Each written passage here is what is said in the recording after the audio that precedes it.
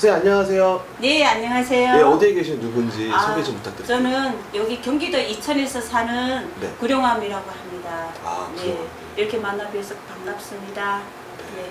저는요, 2015년도에 2월달에 제가 받았어요. 아. 횟수로 세면은 저는 5년이지만 어떤 3년차로 이렇게 들어서고 있어요. 네네. 네, 신의 길을 간지 그게 4년차가 됩니다. 음. 네. 근데 제가 고향은 네. 예, 북한이에요. 제가 탈북자입니다. 탈북자 세토민으로서 아 선생님 예, 고향이 예, 내 고향이가 북한이에요. 북한 흥남방 쪽에 한경남도 하무 예, 어. 저 국제 그 용화 노동이 뭐든가 국제 시장에서 넣을 때 흥남방으로 사람들 태워가지고 그렇게 부산 쪽으로 왔지 않았어요 전쟁 예, 때. 거기가 저희 고향이에요. 저희 집이가 그 옆에 있어요. 예, 흥남방이라고 그 노래도 있잖아요. 그게 예, 거기서 이렇게 우리가 제가 2007년도에 제가 한국에 왔거든요. 예. 2007년도에 네, 한국에는 저 뭐 2007년도에 신, 신을 받으신 거는 한국 와서 받- 여기 남한 와서, 와서 받았죠. 거예요? 저는 한국에 와서 받았죠. 한국에 와서. 저는 여기 신굿이라고 좀 몰랐어요. 한국에 와서 어 이런 기가 있구나 이렇게 하고 접하게 됐거든요.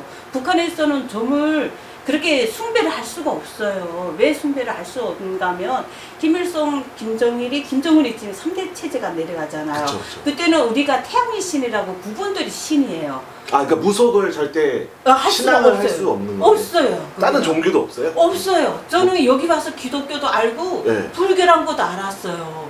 저는 이게 아무것도 몰랐어요. 북한에서는 그런 걸 존재할 수가 없어요. 사상 아. 자체가.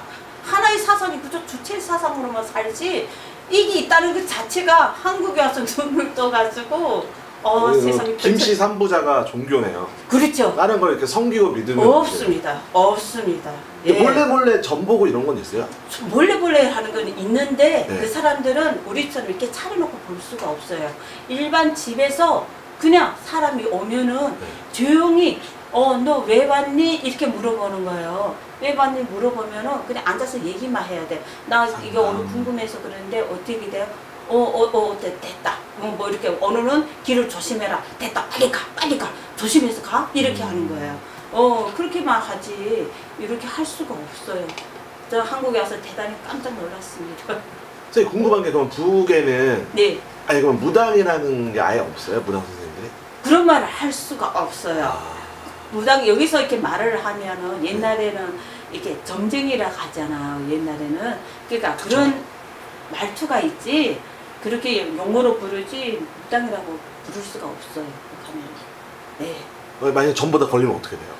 끌려가요? 깜빵에 가야 됩니다. 깜빵 예, 잡혀가야 됩니다. 그거는 왜 남의 신을 믿었기 때문에 김일성을 배반했기 때문에 음. 그 사람은 정치적으로 문제가 있는 사람이야. 사상에서 문제가 있는 사람이라 잡혀들어옵니다. 그 고역을 치르고 나와야 돼. 그러니까 두 번 다시 내가 이것을 행위를 안 하겠다는 서약을 쓰고 나와야 돼. 근데 만약에 내가 또 보다가 사람이라는 게 신이 들어오면 또 얘기하게 되잖아요. 네. 근데 또 그렇게 잡혔다 하면은 첫 번에는 한 1년짜리를 보내주는 거예요. 음. 어. 근데 그때 두 번 다시 세 번 이렇게 하면은 큰 교화를 살아야 돼. 어, 사상 그런 거를 할 수 살아야 돼. 그러니까 그런 사람은 딱지를 않는 거예요.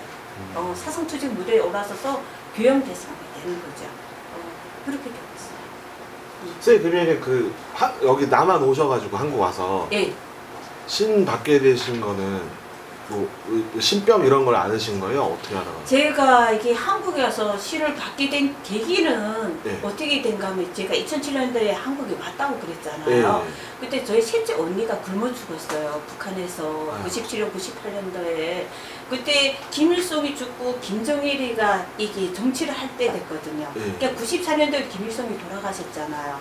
네. 돌아갔는데 김정일이가 들어왔으니까 이게 배급이라고 주거든요. 내가 이런 것만큼 봉급하는 그게 있어요. 근데 그것을 안 주니까 모든 사람이 그때 막 굶주려서 죽고 얼어 죽고 막 뗄나무가 없어서 그렇게 해서 죽은 시대가 있었어요. 그 시대가 94년도부터 98년도까지 있었던 거예요. 그때 시대에 300만 명 죽었어요. 우리가 많은 사람 죽었거든요. 그때 그 시기를 헤매서 제가 탈북을 하면서 그때 우리 언니가 죽었어요. 솔직히 말해서 제가 언니 들어간 거 못 봤는데 2007년도에 딱 이렇게 왔는데 어떻게 우연중에 이게 무속인 하시는 그 집을 지나가게 된 거예요. 네. 그때 제 마음이 되게 좀 슬펐다 할까. 그 거기가 너무 궁금했어요. 제가 이- 옛날에 북한에서 보던 거기가 있으니까 음. 한번 저 집에 가봐야 되겠다. 딱 가봤는데 아 이렇게 점사를 내리시더라고 그분이. 그니 너 형제 중에 굶어 죽은 사람이 있네 이런 거야. 그래서 저. 예, 그래서 저 언니가 아니 죽은 사람이네 아까 저 언니가 난 너무 좋으니까 그러니까 굶어 죽었고요 막 앉아서 떠들어댄 거예요. 그러니까 음. 그분이 얘기를 하면서 너 풀어야 된다. 너 그때 삼재도 들어왔으니까 풀어야 된다. 뭐 이러는 거예요 나보고. 그래서 아 그래요? 돈이 얼마예요? 그때 그러니까 150만 원 부르시는 거예요. 2007년도에 그 돈이 안 아팠어요. 저희 정착금이 2천만 원 나오거든요. 2천만 원 넣는 데서 거기 임대 보증금 이렇게 찌고 나가지고 전착금이 조금밖에 안 되거든요. 근데 그 돈이 안 아까웠어요. 150만 원. 그러니까 언니 거 해드렸어요. 근데 제가 사업을 하면서 망해먹은 계기가 어, 또 있거든요. 그 기가 뭐냐면 제가 이렇게 속인 집에 가서 이렇게 벌 때는 너무 좋으니까 뭘 해라면 그 돈이 안 아까웠어요. 구슬하는 돈은. 어, 구슬하는 돈은 안 아까웠어요. 항상 성부를 보신 거예요, 그러면? 항상 저는 하면은 그냥 좋은 거예요. 손불 보는 것보다 내 마음이 편안한 거예요. 그, 그게 뭐 선생님들이 막 공수를 줄 때 너 잘 될 거야 하면 그게 너무 좋은 거예요. 그 말 한마디가. 아, 진짜 잘 될 것 같고. 어, 잘 될 것 같은 기분. 그 다음에 뭐 조상님들 뽑잖아요. 네. 너뭐 형부가 들어와서 너 어떻게 돼? 하면 그 마음이 그게 애처하게 아마의 고향에 대한 향수병이라든가 아. 애정이 있잖아. 그러니까 그 말이 그냥 공감이 되는 거예요. 그러니까 네. 그 돈이 하나도 안 하고 너무 좋으신 거예요.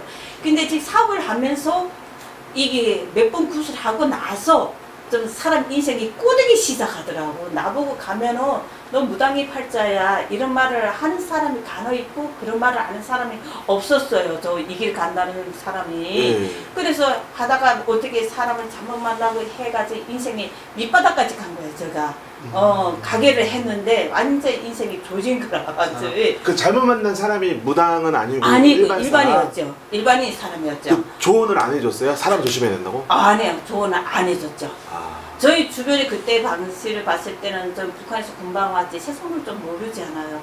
그냥 오기 그쵸, 하나라, 그냥 오기 하나고 뭐 사기 당하셨구나. 그래 사기 당하고 그렇게 하니까 인생 완전 까꾸레 돼가지고 돈도 빚지고 완전 간제까지 걸리고 인생이 밑바닥까지 갔어요. 제가 3년 어간에.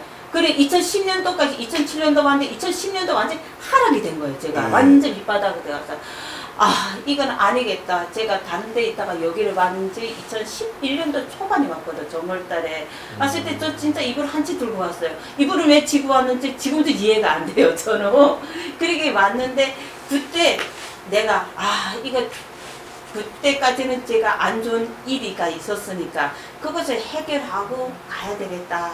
그렇게 하고 생각하고 해고 당 청소하고 여러 가지 일을 많이 했어요. 제가 살아가면서 제대로 살아야 되겠다. 내가 이렇게 해서 하면 안 되겠다. 왜 하면은 저 북한에 딸이라 있으니까 돈 보내줘야 되잖아. 우리 나만 여기 왔다 하지만 북한에 형제들 있잖아. 그러니까 해서 돈을 보내줘야 돼. 그래야지 그 사람들 살 거 아니에요. 그래서 학창스럽게 벌었는데 2014년도에 제가 생각지 않은 수술을 하게 된 거예요, 이게. 음. 수술을 하니까 몸이 너무 아픈 거예요, 이게. 그래가지고, 아, 나 이게 왜 이럴까, 왜 이럴까, 이렇게 생각하고 수술을 해버렸어요, 제가. 수술을 하고 나서 꿈에서 계속 방울붙이 들고 막 흔드는 거라, 사람을. 음. 그래서 내가 아니 이게 도대체 뭐지 이게 뭐이지 하고 딱이 하는 집에 가본 거예요. 그 저보고 하는 게 뭐 나보고 신 찾단 말은 처음에는 안 했어. 어 네, 그분이. 근데 그분이 뭐 너 사업을 뭐 하면 어떻게 되고 구술하라고 그러시는 거야. 그래서 내가 아 구술을 하는데 저 그거 말고요. 저 신가물이에요. 내가 집밥 물어봤어요. 저 신을 받아야 될 사람이나요? 이렇게 된 거예요. 음. 그러니까 그분이 신을 받아야 된다고 몇 천만 원 들여서 해야 된다고 그렇게 하는 거야. 그래서 내가 아저 돈이 없어요. 지금 돈이 없으니까 알았다고 그렇게 해서 했는데 내 느낌에 저희 언니가 이제 북한에서 이것을 해왔어요. 무당을 하세요.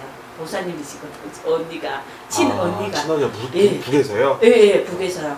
그래서 하여가지고, 아, 내 느낌으로 그냥, 아 나는 이 길을 가야 되는 사람인가 보다 내 느낌을 그렇게 느꼈어요 제가 음. 그래서 제가 아시는 이제 선생님들께 소개를 하려니까 아니가 없잖아 그래서 만물상을 갔어요 만물상 모르는 만물상에 가서 여기서 선생님들 제일 잘하는 일 많이 하시는 선생님이 누구세요? 이렇게 물어본 거예요. 아 그리고 만물상에서 물어보셨어요.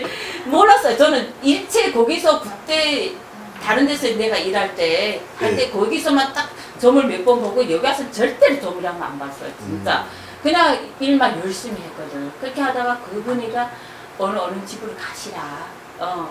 그래서 그분의 집에 가서 딱 보니까 문 잠겨져 있는 거예요. 그래서 새 집을 갔는데 새 집을 갔는데 다 문이 잠겨져 가지고 난 이 길에 안 가는 것보다 해가지고 마물상에 간게그 집을 가는데 그 집도 문 잠겨져 있는 거야. 네. 아우 나는 아닌 거 봐. 나 아직 때가 아닌가 봐. 딱 나오는데 그분이 들어오신 거예요. 그 선생님이. 네. 그게 아 나는 이게 정보라 저기서 소개줘서 이렇게 왔습니다. 그러니까 빨리 들어라는 거예요. 근데 그 지금 보면 법당이에요. 법당에 땄는데 눈물이 그렇게 나오는 거라. 아 그래서 많이 울었어요 제가. 어. 그러니까 그분이 너는 이 길을 가야 되는 사람이다. 그러니까 그 소름이 있는 거 있잖아. 음. 그러니까 울고 나서 그러면 제가 어떻게 해야 됩니까? 그러니까 받아야 된대. 그래서 제가 돈은 없습니다. 지금 현재는 돈 없으니까 조금만 기다려 주세요. 그래서 그분이 알았다 하고 돈 맞출 때까지 제가 한 달이나 시간이 걸렸어요. 솔직히 말해서 제가. 그리고 한 달이나 시간을 받아가지고 그걸 봤는데 정말 그게 그렇게 돼서 이거 길을 간 것 같아요. 제가. 근데 지금 왔었는데 후회는 없어요. 제가 어, 마음의 준비를 하고 가서 그러는지 내 소름에서 이 길을 가야 되는 것이 내 숙명이라고 생각했는지 그게 지금 현재까지 이 길을 오고 있습니다.